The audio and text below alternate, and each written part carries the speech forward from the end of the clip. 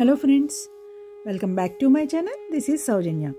అందరూ ఎలా ఉన్నారండి? నేనైతే చాలా చాలా బాగున్నాను. మీరందరూ కూడా చాలా బాగున్నారనుకుంటున్నాను. ఇంకా ఇంకా బాగుండాలని మనస్ఫూర్తిగా కోరుకుంటున్నాను. అంత చీకటిగా ఉంది. ఏంటా అని చూస్తున్నారా? నేను యాక్చువల్గా ప్రణవ్బాబుని నిన్న నేను దింపిన వీడియో పెట్టాను కదా. సో దాన్ని తర్వాత నేను మళ్ళీ పికప్ చేసుకోవడానికి వెళ్తున్నాను అనమాట నైట్ నైన్ థర్టీ అలా అవుతుంది. సో నేను వెళ్ళి పికప్ చేసుకుంటున్నాను. ఒకసారి వెళ్ళి వచ్చాను కదా మార్నింగ్ డ్రైవ్ చేసేటప్పటికి కొంచెం ధైర్యంగానే ఉన్నాను. సో సరే నేనే పికప్ చేసుకుంటానని చెప్పి ఇంక వెంకట్ని తీసుకెళ్ళలేదు అనమాట ఇదే మా రైల్వే స్టేషను. లైట్గా క్రిస్మస్ డెకరేషన్ కూడా చేశారు. అంత ఎక్కువేం చేయలేదు కానీ లైట్గా డే చేశారు. నేనైతే ట్రైన్ కోసం వెయిట్ చేస్తున్నాను. పార్కింగ్ అయితే చేయలేదు. కొంచెం నాకు భయం అనమాట పార్కింగ్ చేయాలంటే. ఎందుకో భయం నాకు. అదే ఇక్కడ పెట్టుకుంటే కారు గమ్మున ఏదైనా వెళ్ళిపోవాల్సిన అవసరం వచ్చిందనుకోండి గమ్మున డ్రైవ్ చేసుకుని వెళ్ళిపోవచ్చు కదా అని చెప్పి నేను పార్క్ చేయలేదు. పార్క్ చేస్తే గమ్మున కారు బయటికి తీయలేం కదా ఎవరైనా వచ్చినా భయపడతాం కదా అని చెప్పి. సో ట్రైన్ అయితే వచ్చేసింది ఇంకా. చాలా రోజుల తర్వాత పికప్ చేసుకోవడం వల్ల నేను కొంచెం వరి అవుతున్నాను కానీ మామూలుగా అయితే నేను ట్వెల్వ్ ఓ క్లాక్ కూడా వచ్చి పికప్ చేసుకునేదాన్ని ప్రణవ్ని ఒక్కొక్కసారి. ఎందుకంటే తను అక్కడి నుంచి స్టాంఫోర్డ్ నుంచి వచ్చేటప్పుడు ఫ్రెండ్స్ని మీట్ అవ్వడం ఇవన్నీ చేసేవాడు కదా.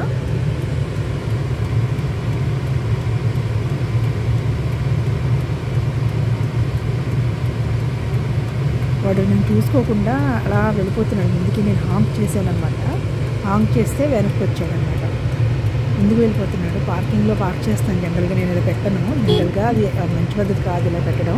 నాకు ఇష్టం ఉండదు. కానీ నేను మధ్యన రావకపోవడం వల్ల కొంచెం భయపడుతున్నాను. సో అందు గురించి అని ఇక్కడ పెట్టానమాట కార్ని. జస్ట్ బ్లింకర్స్ ఆన్ చేసేసి పెట్టేసి ఉంచాను. హాంక్ చేస్తే చూసుకున్నాడు వచ్చాడు హాయ్.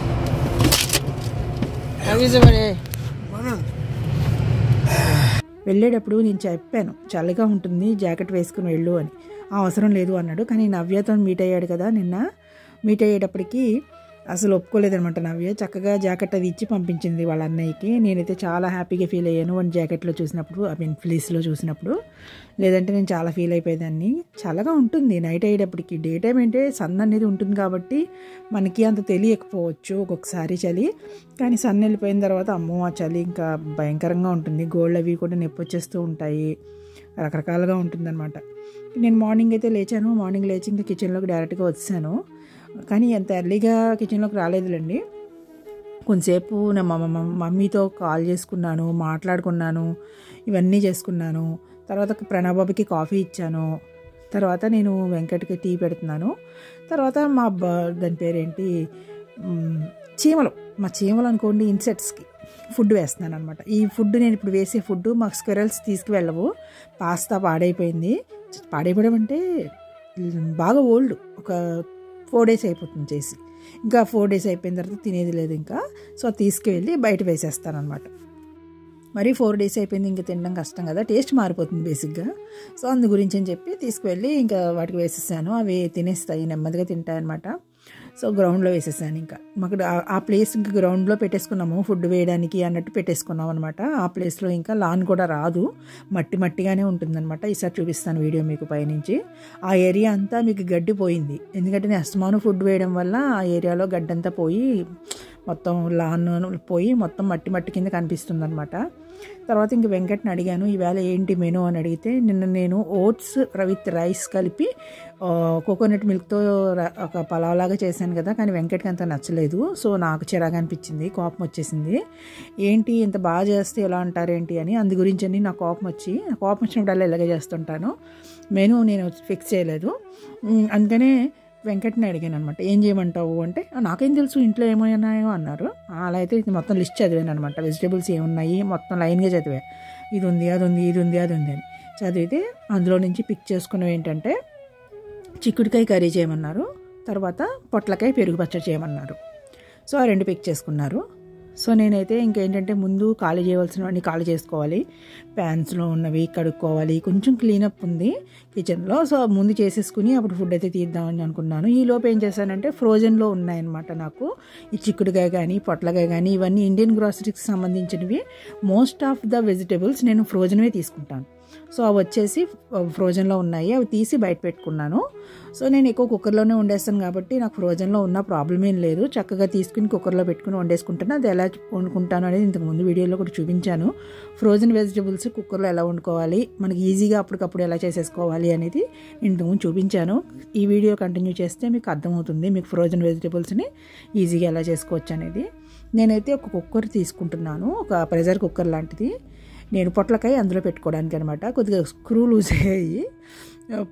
దానికి హ్యాండిల్స్ అవి లూజ్ అయ్యాయి అనమాట సో నేను ఎప్పటికప్పుడు బిగించుకోవడానికి ఒక స్క్రూ డ్రైవర్ రెండు స్క్రూ డ్రైవర్లు పెట్టుకుంటాను అనమాట అవి తీసి బిగించుకుంటున్నాను. అసమాను స్క్రూ డ్రైవర్ లేదనుకోండి స్క్రూలు పోతాయి అవి హ్యాండిల్స్ పోతాయి. సో స్క్రూ డ్రైవర్ రెడీగా ఉంటే టకటకా బిగించేసుకోవచ్చు కదా. సో ఇంక నేను చిన్న కుక్కర్ తీసుకున్నాను. అందులోకి నేను పొట్లకాయ వేసుకున్నా. ఇంకా అందులో వాటర్ కానీ ఏమి యాడ్ చేయని అవసరం లేదు. ఎందుకంటే ఫ్రోజన్ కదా పొట్లకాయ. సో అప్పుడే తీసాను బయటికి. సో దట్ ఇంకేంటంటే చక్కగా కుక్కర్లో వేసుకుని సిమ్లో పెట్టుకున్నాను. తక్కువలో పెట్టుకున్నాను అనమాట. ఎలక్ట్రిక్ అయితే టూలో పెట్టాను. అది మామూలుగా గ్యాస్ వాళ్ళు అయితే చాలా లోలో పెట్టుకోండి అంతే. అలా పెట్టేసుకున్నాను. పెట్టేసుకుని దాన్ని మర్చిపోయాను ఇంకా. ఒక ట్వంటీ మినిట్స్ ఇంక దాన్ని మర్చిపోయాను. దాని సంగతి మర్చిపోయాను అనమాట దాని తర్వాత ఈ లోపు కొంచెం షింక్లో సామాన్లు ఉన్నాయి అవి క్లియర్ చేసేసుకుంటున్నాను. నాకు ప్యాన్ అది కావాలి సో అవన్నీ క్లియర్ చేసుకుంటున్నాను. ఎందుకంటే ఇప్పుడు నేను చిక్కుడుకాయ కర్రీ చేయాలి. చిక్కుడుకాయ కర్రీకి నాకు ఇంకొక కుక్కర్ కావాలి. ఈరోజు ఏంటంటే లక్కీగా ఇన్స్టెంట్ పార్ట్లో రైస్ లేదు అనమాట క్లియర్గా ఉంది క్లీన్ చేసేసి ఉందనమాట సో అది క్లీన్ చేసాడంటే తీసేసాను. నేను తీసేసి పక్కన బాక్స్లో పెట్టేసుకున్నాను. ఓట్స్ నేను చేశాను కదా. ఓట్స్ కోకోనట్ మిల్క్ తోటి రైస్ లాగా.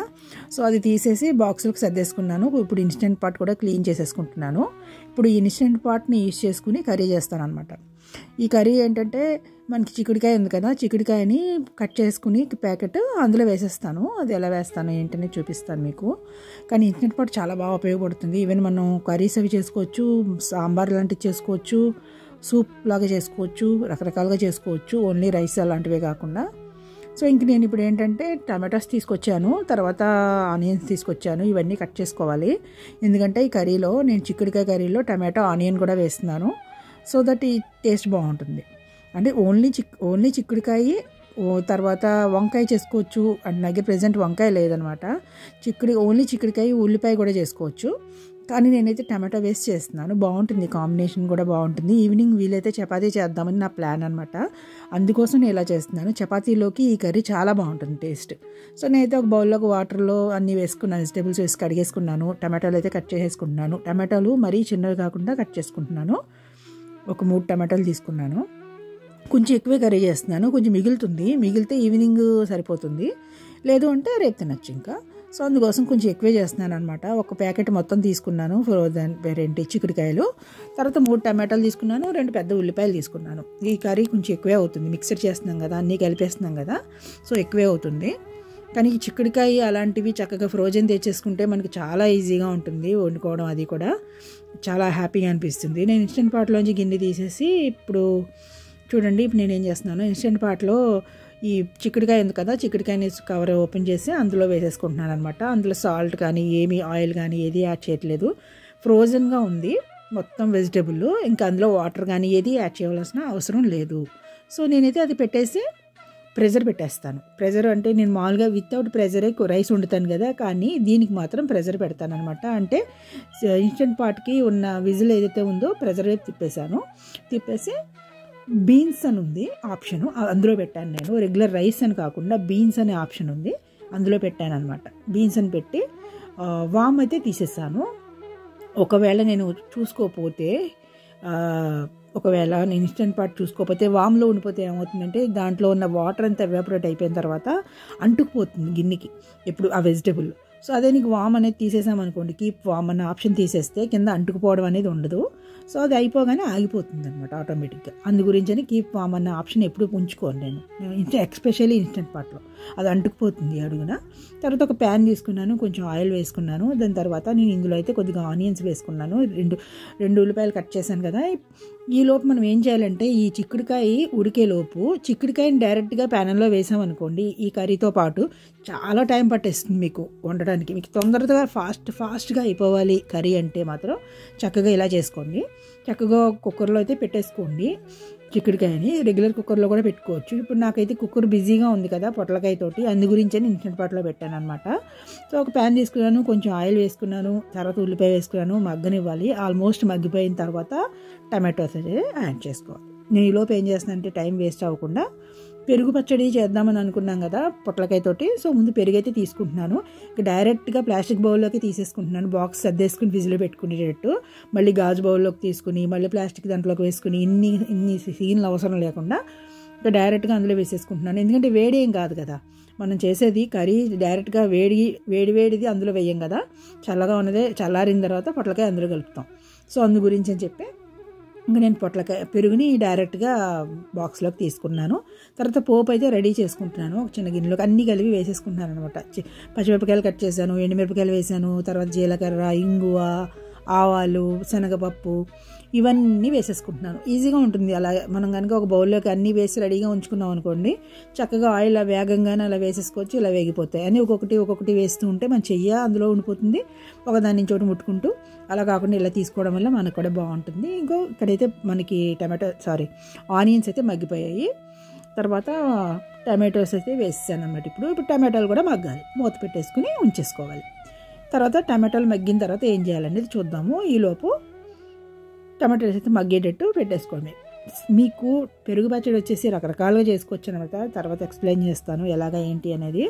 ఈ అయితే మనం పొట్లకాయ పెరుగు పచ్చడి చేసుకుంటున్నాం.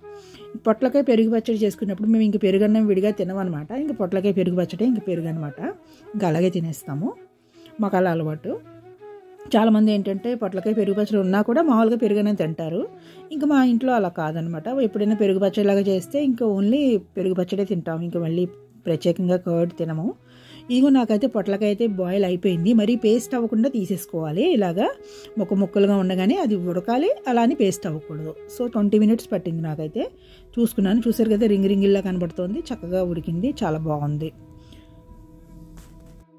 మీకు మామూలు వెజిటేబుల్స్ కన్నా కూడా ఇలా మనకి ఫ్రోజన్ వెజిటేబుల్స్ చాలా బెస్ట్ అనమాట మీకు మంచి వైటమిన్స్ అవన్నీ కూడా ఉంటాయి. ఎందుకంటే మామూలు వెజిటేబుల్స్ రెగ్యులర్ వెజిటేబుల్స్ ఏవైతే ఉంటాయో అవి తీసుకొచ్చి మనం నార్మల్ ఫ్రిడ్జ్లో పెట్టినప్పుడు దాంట్లో ఉన్న వైటమిన్స్ మినరల్స్ అన్నీ పోతాయి. కావాలంటే ఒకసారి గూగుల్ చేయండి. మీకే తెలుస్తుంది నేనేం చెప్తున్నాను దేని గురించి మాట్లాడుతున్నాను అనేది.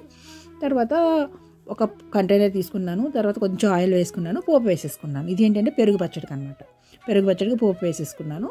లైట్గా ఫ్రై చేసుకుంటున్నాను. అంతేనా సత్యనారాయణ రాజు గారిని ఫాలో అయిపోతున్నాను ఈ ఒక విషయంలో మాత్రం. అంటే చాలా విషయాలు ఫాలో అవుతాను ఆయనవి అలాగే ఒక్కొక్కటి అంటే నాకు ఈజీగా ఉన్నవి నేను చేయగలిగినవి ఫాలో అవుతాను అనమాట ఆయనవి. అన్నీ ఫాలో అవ్వడం కష్టం. ఆయన చెప్పిన వాటిలో ముఖ్యమైనది ఏంటంటే ఉప్పు వేయద్దు అని చెప్తారు. అది అసలు జరగని పని. నేను ఉప్పు ఎక్కువ తింటాను. సో కానీ ఆయన ఫాలో అవ్వరు నేను. అది విచిత్రమైన విషయం ఏంటంటే నేను ఆయన ఫాలో కానీ ఆయన ఆయన చెప్పిన మాట అసలు విన్ను. చాలా విచిత్రంగా ఉంది కదా. ఉప్పు అసలు వేయకుండా కుదరదు నాకు. కొంచెం సాల్ట్ ఎక్కువే తింటాను కంపేర్ చేస్తే. వెంకట అస్మాను నాతో కూడా పడతారు. సాల్ట్ ఎక్కువ వేస్తున్నావు ఎక్కువ వేస్తున్నావు అని చెప్పి.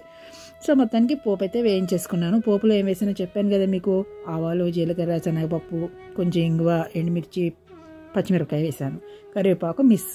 ఉంది కానీ అది ఫ్రోజన్లో ఉండిపోయింది. అది బయటికి రావట్లేదు. ఎక్కడుందో తెలియట్లేదు నాకు. సో వదిలేసాను తర్వాత సాల్ట్ అయితే దీంట్లో వేసాను అనమాట పొట్లకాయలో వేసాను. ఎందుకంటే మొక్కలకు పట్టుకుంటే సాల్ట్ బాగుంటుంది కదా. పెరుగులో వేయడం కన్నా మొక్కలకు వేసుకుంటే బాగుంటుంది. సో అందుకోసం పొట్లకాయలోనే సాల్ట్ వేసాను ఇంకా పెరుగులో సాల్ట్ వేయక్కర్లేదు మనం. ఈ సాల్టే సరిపోతుంది అనమాట సో కొత్తిమీర ఉంటే ఇంకా బాగుంటుంది. నా దగ్గర కొత్తిమీర లేదు. కొత్తిమీర ఉంటే నేను చాలా వేసేస్తాను అనమాట పెరుగు పచ్చడిలో చాలా చాలా ఇష్టం నాకు. ఒక కట్ట వరకు వేసేస్తా. తర్వాత ఈ మగ్గిపోయింది. టమాటాలు కూడా మగ్గిపోయాయి. ఇక్కడ ఆనియన్స్ మగ్గిపోయాయి టమాటాలు మగ్గిపోయాయి కర్రీ కోసం. ఇప్పుడు నేను అల్లం వెల్లుల్లిపాయ పేస్ట్ వేసాను అంటే జింజర్ గార్లిక్ పేస్ట్ అనమాట ఒక ఒక టూ స్పూన్స్ వరకు వేసా. కొన్నదే నాకు అసలు సాటిస్ఫాక్షన్ లేదు. ఈ మధ్యకాలంలో ఇంట్లో చేయడం మొదలుపెట్టిన తర్వాత కొన్నది అసలు నచ్చట్లేదు నాకైతే. కానీ తప్పలేదు. ఆ రోజు కొనాల్సి వచ్చింది. కొన్నాను. సో మొత్తానికి కొన్నదే వాడుతున్నాను అనమాట సో ఈ లోపు ఇన్స్టెంట్ పాట్ అయిపోయింది. చూశారు కదా పొట్ల దాని పేరేంటి? చిక్కుడికాయ బాయిల్ అయిపోయింది. చిక్కుడికాయ ఇలా అయిపోయిన వెంటనే తీసాను. తర్వాత కొంచెం సాల్ట్ యాడ్ చేసుకున్నాను. తర్వాత కొంచెం రెడ్ చిల్లీ పౌడర్ వేసుకున్నాను. చి మనకి కారం ఎంత కావాలని దాన్ని బట్టి వేసుకోవాలి కదా మనం అంతే. దాని తర్వాత ధనియా జీర పౌడర్ కొంచెం పసుపు. పసుపు అనేది నేను మొత్తానికి ఏదో రకంగా తింటాను కొద్దే మొత్తం మీద. వేయడానికి ట్రై చేస్తాను అనమాట నేనేంటంటే పెరుగు పచ్చడిలో పసుపు వేసాను అనుకోండి మొత్తం పసుపుగా అయిపోయి పెరుగు పచ్చడి లుక్ మారిపోతుంది. అందుకోసం వేయలేదు కర్రీలో వేసుకున్నాను. తర్వాత ఇంకా రైస్ పెట్టుకుంటున్నాను అనమాట ఫ్రెష్గా రైస్ పెడదాం. కొంచెం రైస్ ఉంది ఫ్రిడ్జ్లో ఉంది కానీ ఇంకా ఫ్రెష్గా రైస్ పెడదాము. ఇన్ని ఐటమ్స్ వెరైటీ కొత్తగా ఫ్రెష్గా చేసుకుని మళ్ళీ పాత రైస్ ఎందుకులే అని.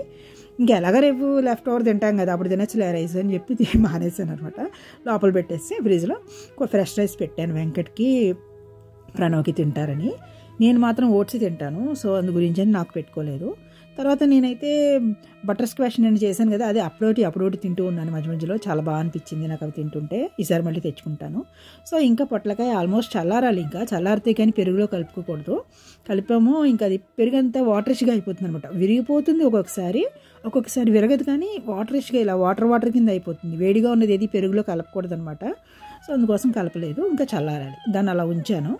చల్లారిన తర్వాత నేను ఇంకా దాంట్లో కలుపుతాను అనమాట ఇంగు కంపల్సరీ వేసుకోవాలి పెరుగు పచ్చడి పోపులో. చాలా బాగుంటుంది. లేదంటే మీకు ఫ్లేవర్ ఏమి ఉండదు. చప్పగా ఉంటుంది. కొంచెం ఇంగువ తగలాలన్నమాట లైట్గా. ఎక్కువేం కాదు కానీ లైట్గా. నేనంతే ఇంగు పౌడరే వాడతాను ఎక్కువ. ఇంగు ముక్కలు ఇంకా టేస్ట్ ఇంకా బాగుంటాయి అన్నమాట ఫ్లేవర్. దాన్ని దంచి వేస్తారు. కానీ అంత ఓపిక అంత టైము అవకాశం ఇవన్నీ ఉండాలి కదా. నాకు అంత లేదు. సో నేను పౌడరే వాడేస్తాను అనమాట కర్రీ అయితే ఆల్మోస్ట్ అయిపోతుంది. కొద్దిగా వాటర్ వాటర్ కింద ఉంది కదా. కానీ చపాతీకి అయితే అలా వదిలేవచ్చు కానీ ఇప్పుడైతే రైస్లోకి తినాలి కదా ఇంకా అని చెప్పి ఇంకా వాటర్ పోయే వరకు నేను మగ్గనిచ్చేసాను ఇంకా. కానీ వీలైతే చపాతీ చేస్తాను నైట్.